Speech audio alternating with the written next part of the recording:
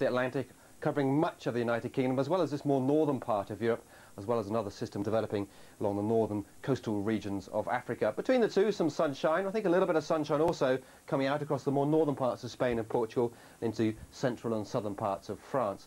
We've had some wet weather, though, in the eastern side of Europe, and here in Poland we've had 44 millimetres in the space of a day, and still some outbreaks of rain likely, I think, as these main weather systems drift steadily southwards, bringing their bands of rain into the more central parts of Europe as we move through Tuesday, Wednesday and into Thursday. So our forecast, I think, for tomorrow is to try and find you some sunshine, perhaps in the more central and eastern parts of the Mediterranean. Between the, the, showers across the more eastern areas of Europe, we may see a little bit of sunshine, and temperatures here quite pleasant, between 19 and 22 degrees.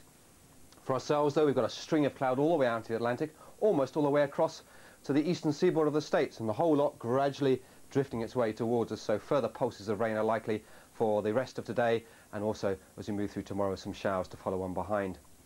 Well, that's the area of low pressure responsible for this trailing weather system, linking in with another. The whole system just rotating around. Doesn't move very much, but it takes one weather system away, but the little area of low pressure develops on the weather system, and that'll bring some more rain coming into the south, a new area of low pressure developing for tomorrow. But for the moment, while a picture says a thousand words, lots and lots of rain coming and going across a large part of the United Kingdom. It is becoming a little bit brighter across the more western parts of Northern Ireland and the western side of Scotland. That's the back edge of that band of cloud. But I think many areas staying rather wet for the rest of the afternoon. A little bit of sunshine coming out, though, across Scotland and also Northern Ireland later through the afternoon. Temperatures, 14, 15 as an average, maybe a 16 if we do